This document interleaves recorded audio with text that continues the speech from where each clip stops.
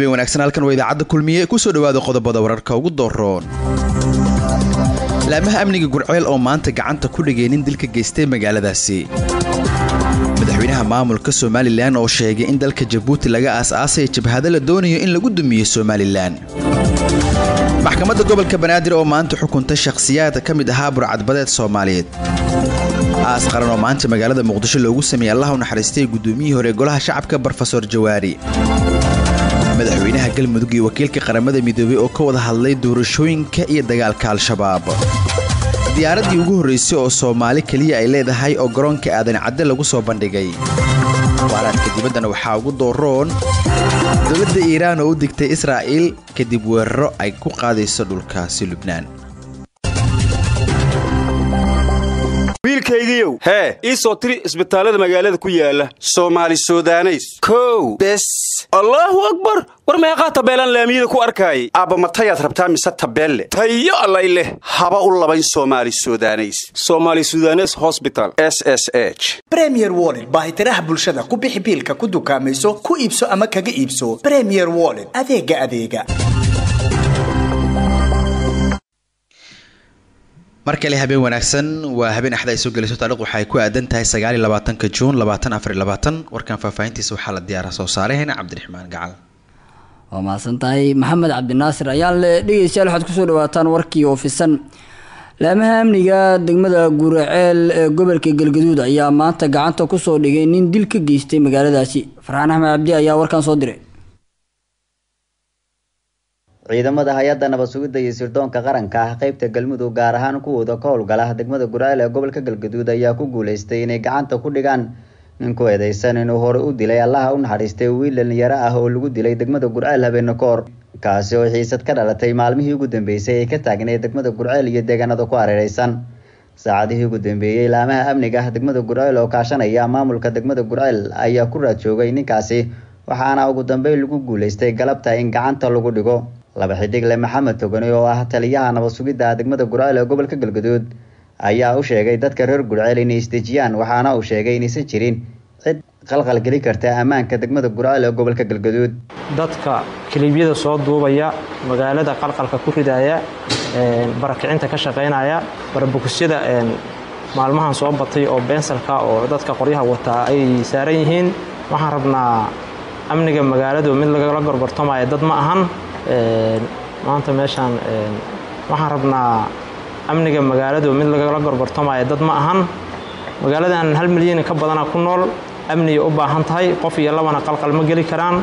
Farxaan axmed cabdi kayanaan dhuusmareeb madaxweynaha maamulka somalilan muuse bihi cabdina waxa uu sheegay in dalka jabuuti laga aasaasayo jabhado la doonayay in lagu dumiyo somalilan cabdiqaadir maxamed xaamud ayaa warkan faahfaahinaya madaxweynaha maamulka somalilan muuse biixi cabdi oo maanta warbaahinta kula hadlay magaalada hargeysa ayaa ka hadlay koox uu ku sheegay jabhad oo isku urursanaysa gudaha dalka jabuuti taas oo dhowaan hanjabaad culus hawada u soo marisay maamulkiisa somalilan muuse biixi cabdi ayaa sheegay inuu arkay hanjabaadda kooxdan oo uu tilmaamay inay ku goodiyeen xureynta gobolka owdal taas oo uu ku tilmaamay wax lala yaabo sidoo kale wuxuu intaasi ku daray hadalkiisa in jabuuti dhexdeeda aysan ka filayn in laga soo abaabulo wax lidi ku ah jiritaanka maamulkiisa somalilan uuna aada uga xun yahay arrintaasi sida uu hadalka u dhigay. Arrimaha geeska ka socda oo wasiirkooda iga horreeyey maalmahan waxaynu maqlaynay qolo jabhadoo jabuuti kale xadaysa oona awdal baanu xoreynayna. Halkaa taa kama inaan filayn. Hadday satana taa ka noqotay wixii ka dhashay mid arki doona hadda. Somalilan maanta loo baqimaayo gudaheeda waxaa laga rabaa qarannimadan inaynu wada ilaashano oynu wada daafacno inagu wax kastoo a dadkao dhan wa isqabsada qoysbaa isqabsada walaalaa isqabsada dadku nolosha waa la isku iskhilaafaa dadka talada siyaadaha yaalo waa laga yaaba inay karre ay duraadaan laakiin waxaa laga siman yahay qarannimadan loo kala dheeray difaaceeda dhammaan dadka somalilan weliba inta siyaasadda danaysa ee xisbiyada ah ee aqoon-yahanka ah waxaynu ka midaysanahay qarannimada daaficeeda iyo inaan qarankaasi wixii dhicinaya aynu u midaysnaano ninkii xeerkaa ka baxaa deecadii buu soo raacay. Dhanka kale madaxweynaha maamulka somalilan muuse biixi cabdi ayaa sheegay in madaxweynaha soomaaliya xasan sheekh maxamuud uu abaabulayo heshiis uu la galo kooxda al-shabaab islamarkaasina uu rabo inuu la dagaalamo maamulka somalilan oo gooni u goosad u taagan muddana adduunka ka raadinaya ictiraaf ama aqoonsi sida uu sheegay madaxweyne muuse biixi cabdi. Maalintii labaad uu sameeyey wuxuu eegay golihiisa xukuumadda. Waxay tahay midiya oo ku aragteen sideed qodob soo saaray. Kuwaa dabageli maayo?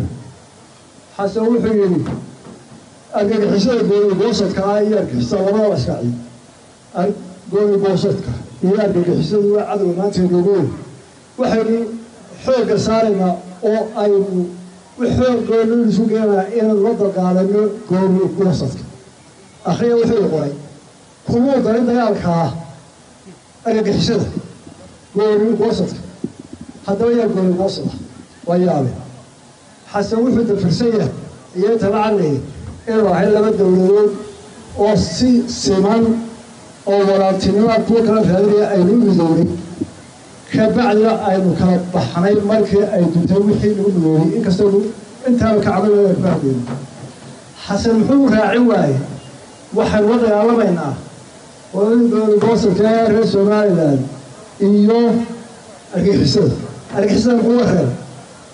Wuxuu ga reebay. Heshiis baa la bilaabay. Uu la heshiinaya al-shabaab.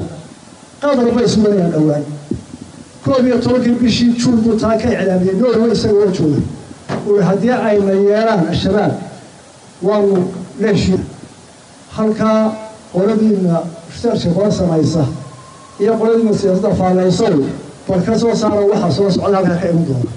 Tan iyo markii magaalooyinka muqdisho iyo hargeysa lagu qabtay munaasabado loogu dabaaldegayo lix iyo labaatanka juun oo ah xilligii ay gumaystaha ingiriiska ka xoroobeen gobollada waqooyi ee soomaaliya waxaa xoogeystay khilaafka siyaasadeed ee u dhexeeya waqooyi iyo koonfur iyadoo siyaasiyiinta iyo fanaaniinta ay hawada isku mariyeen. Hadallo xanaf leh oo sii kala fogeyn kara labada shacab meeshana ka saari kara dadaaladii iyo wadahadaladii xoogga lagu saarayo midnimada soomaaliya.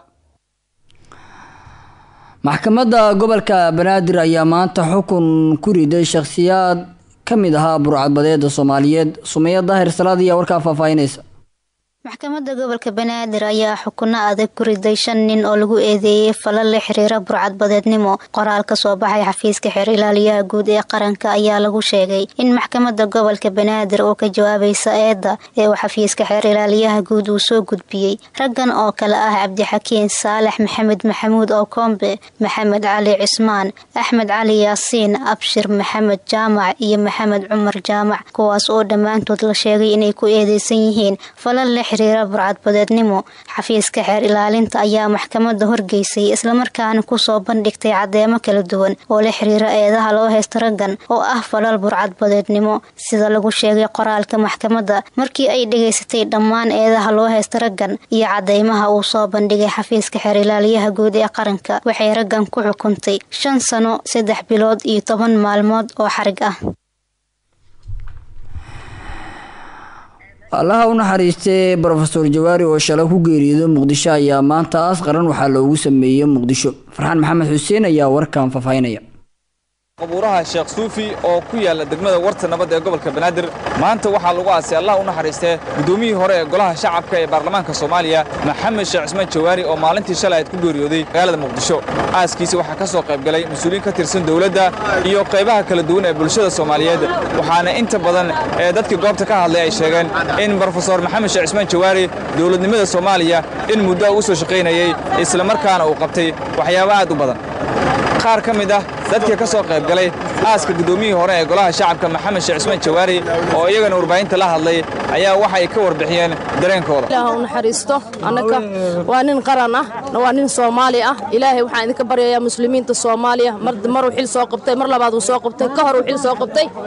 Waxaan idinka rabaa idinkan inaa cafisiin jana firdowsa allah ugu bishaareeyo. Ilaahay kutubkiisa midigta allah ku siiyo martida la jecliya allah ka dhigo. Waxaan ka codsanayaa soomaaliya waxaan ka codsanayaa mar saddexaad iyo mar labaad inay cafi iyo masaamax adeerkay ay cafiyaan. Inta wax u qabtay inta wax ummadday ka muuqataa inta hadda waddanka joogtaan waxaan u rajaynaynaa insha allah sida oo dardaarankii oo ugu dambeeyey oo dhiibay inaan la qaadanno sabar iyo iimaan ilaah naga siiyo. Innaa lilaahi wa ilaahi raajicuun. Innaa lilaahi wa ilayhi raajicuun. Innaa lilaahi wa ilaahi raajicuun. Waxaan maanta galabta joognaa aaska macallinkeenna hoggaamiyaheenna iyo khabiir soomaaliyeed oo annagana na soo barbaariyey guddoomiye ilaahay naxariista janna ha siiyo. Waxaan rajaynaynaa insha allaahu in ilaahay jannatulfardowsa ilaahay waxaan ka baryaynaa jannatulfardowsa inuu geeyo. Waxaan halkan tacsi tiiraanyara uga dirayaa qoyska reer maxamed sheekh cusmaan jawaari. Ilaahay naxariistii janna ha siiyo nafsin qatlumowt naf kasta way dhimanaysaa geerina way dhimanaysaa.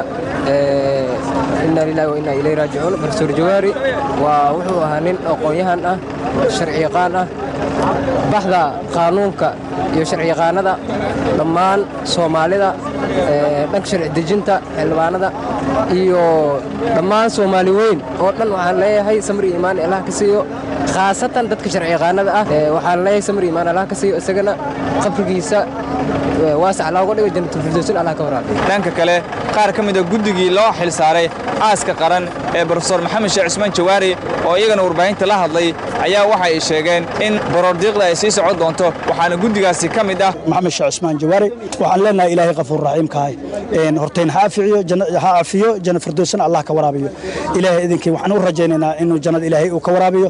Dee samir iimaan allah nagada siiyo dhammaantayna waa u wada tacsiyeynaynaa wallaahi ilaahay qafuur raxiimka maalintii oo loogu talagalay ayaa la gaaray. Dee kullu nafsin daa'iqatulmowd aa la dhahay qof walba haddee mood kuwa dhaminaha laa yastaakhiruuna saacata walaa yastaqdimuuna muxuu dhintay markaa leedahay ilaahay ayaa keenay dee wax dhiboo kalena horey uma aanu jirin. Wiilkiisaa shalay ka hadlay oo guriga la joogay wax dhiboo horey u hayay ma jirin. Laakiin tii allah u timid. Annakoo dhanna waddadan ku soo wada jirnaa. Ilaahay qafuur hanoo kala dheeray insha allah dee inta adiga aa arkaysoo nala joogta ayaan qabannay. Ilaa shalay waa la taagnaa.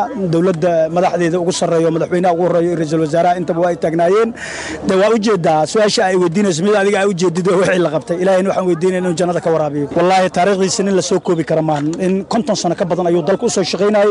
Ilaahay aan weydiin inuu jannada firdows ka waraabiyo. Ilay raajicuun sidaa arkaysaan waxaynu joognaa qubuuraha sheekh suufi halkan maanta waxaanu godkaan dhignay. Qabrigiisii hoygiisii saxa ahaa geynay. Halgamaagii weynaa. Muwaadinkii wadaniga ahaa ee saxa ahaa mudane maxamed sheekh cusmaan jawaarey guddoomiyihii hore golaha shacabka wasiir hore. Xilaal aad u badan oo kuwo rayida iyo kuwo dowladeed bale ka soo qabtay dalka soomaaliya madaxweynaha maamulka galmudug iyo wakiilka qaramada midoobe ayaa ka wada hadlay doorashooyinkii ee dagaalka ka dhanka al-shabaab iyadoo maalmihii la soo dhaafo wakiilka qaramada midoobe uu gaarayay deegaana ka tirsan maamulada dalka uu madaxda maamuladaasi kala hadlaya doorashooyinkii iyo dagaalka ka dhanka al-shabaab. Farxaan axmed cabdi ayaa warkaa faahfaahinaya. Madaxweynaha dowlad goboleedka galmudug axmed cabdi kaari iyo qorqoor ayaa qasriga madaxtooyada ee dowlad goboleedka galmudug ku qaabilay si hayaha madaxa xafiiska qaramada midoobey ee soomaaliya james swan iyo wafdi ballaaran uu hogaaminayo oo howlo shaqo u soo gaaray maanta magaalada dhuusamareeb ee caasimada dowlad goboleedka galmudug. Kulanka ayaa looga hadlay xaalada guud ee dalka amniga iyo la dagaalanka kooxda al-shabaab. Dastuurka iyo doorashooyinka dalka howlaha hay'adaha qaramada midoobay ay ka wadaan magaalada dhuusamareeb ee caasimada dowlad goboleedka galmudug iyo guud ahaan galmudug. Markii uu kulanku soo idlaaday waxaa warbaahinta la hadlay madaxweynaha galmudug axmed cabdi kaari iyo qorqor. Waxaan maantay madaxtooyada dowladda galmudug ku soo dhaweynay wafdi uu hogaaminayo istaraatiijiga iyo tiim ka socdaa hay'adaha un-ka waxaan leenahay ku soo dhawaada ku soo dhawaada galmudug ku soo dhawaada caasimada galmudug madaxtooyada galmudug. Runtii maantay waxaan ka wada hadalnay arrimo aada iyo aada muhiim u ah oo ugu horeyso amniga iyo la dagaalanka argixisada oo sidaad la socotaan waayahan dambe duguulo waaweyna la gaaray. Haddana lagu howlan yahay ma ay hawsheedii meel fiican marayso in la xore laga xoreeyo dalka inta uga hartay cadowga khawaarijta ah taasoon si arrimahaas ku aadan uga wada hadalnay. Sidoo kale waxaan ka wada hadalnay dastuurka iyo doorashooyinka dalka oo iyagana howlo badan ka soo qabsoomeen. Haddana shaqa ka socoto oo dhammaystir iyo in laga guul gaaro. Ay dhowdahay ama ay hawsheedii gabangabo joogto inta ka dhiman. Iyadana aad baan uga wada hadalnay si faahfaahsan. Farxaan axmed cabdi kayanan dhuusmareeb diyaaradii ugu horeysa oo ay soomaali leeyihiin ayaa maanta lagu soo bandhigay garoonka aadan cadde ee muqdisho garoonka diyaaradaha aadan cadde ee muqdisho maanta waxaa lagu qabtay xaflad kooban oo xariga looga jaraya diyaaradii ugu horeysa oo ay leeyihiin dad soomaaliyeed sidoo kalena ay ka shaqeyn doonaan dad soomaali ah. Diyaaradan oo ka mid ah diyaaradaha casriga ee dunida ayaa waxaa soo gatay ganacsato soomaaliyeed oo ku mideysan shirkadda premier waxaana ku xadhan calanka soomaaliyeed.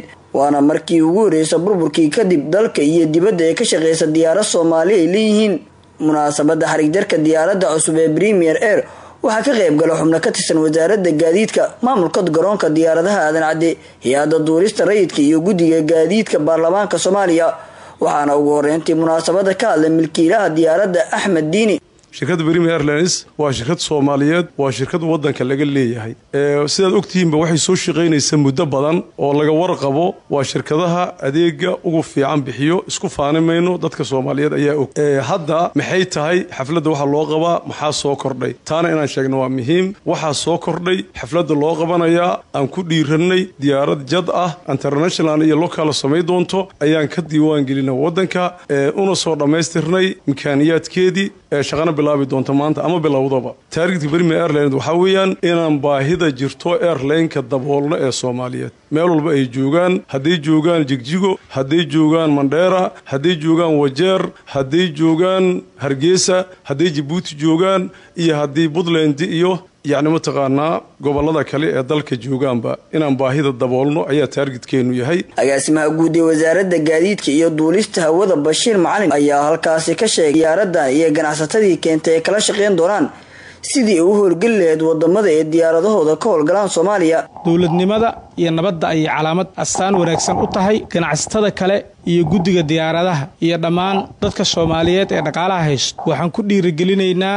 in ay maalgashadaan arrimaha aviationka gaar ahaan arrimaha diyaaradaha iyo eerbortooyinka annaga waana la aaminay ilaahay idankiis waxaan rabnaa in diyuuradda maanta noo soo degata sida ugu dhaqsiyaha badan aan ugu dirno inay samayso duulamaad caalami ah oo ka baxsan xuduudaha soomaaliya. Marka hay'adan waxaan rabnaa inaan audit ka dhaafsiino oo ah qodobkii uu nagula heshiiyey madaxweynaha jamhuuriyadda federaalk soomaaliya. Ilaahay idankiis waxaan rabnaa auditka sida ugu dhaqsiyaha badan aan ku dhaafsiino diyuuradana aan international u dirno. Gabagabadii waxaa madasha ka hadlay wasiiru duulaha wasaaradda gaadiidka iyo duulista hawada waxauna sheegay in sharafay u tahay shacabka soomaaliyeed inay arkaan diyaarad leh calanka soomaaliyeed ayna leeyihiin. Dad soomaaliyeed. Wadan hebelaa diyaarad noo keenay waa nagala laabtay. Wadan hebelaa diyaarad ka sugaynaa wadan hebelaa disaan u lahayn. Diyaarada annaku aan leenahay inay imaanayaan oo calankeena ku buufsan yahay. Magacay noo tahay ummadda soomaaliyeedna magacay u tahay ganacsatadana magacay u tahay aviationka soomaaliyana magacay u tahay. Waa kaaga mahad celinaynaa axmed diini ganacsadaha diyaaradan keenay. Anigoo markaan ku ridaya ducadii xaajinimada waxaan leeyahay berimiyo horumar ay aheede